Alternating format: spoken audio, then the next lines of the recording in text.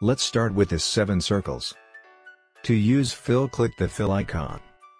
And choose the color of your choice. Click it to the circles so you can fill it with color.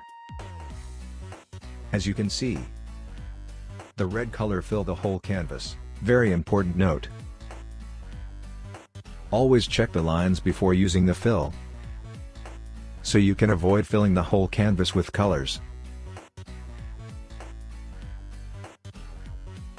Make sure the line is blocked, so the color won't spread to the canvas. If the lines are not blocked, here is what will happen.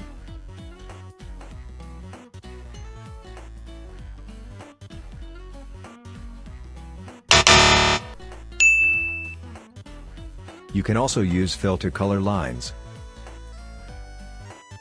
Like this.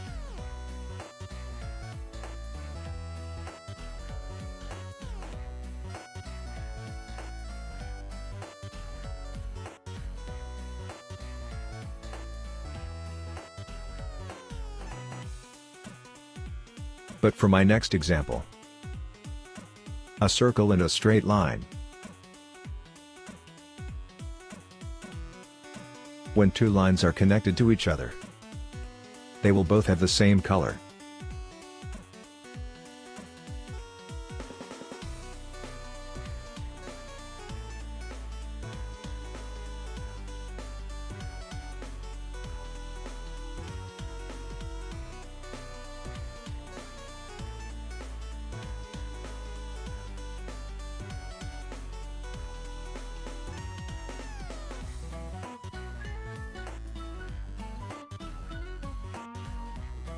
Now I will take one of my drawings to be an example of how important it is to be able to block lines.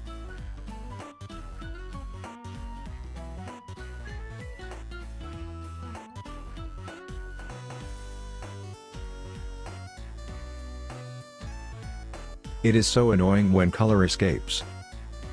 When you draw you will get tired. So it is more helpful if you can fill right away properly it will reduce your fatigue.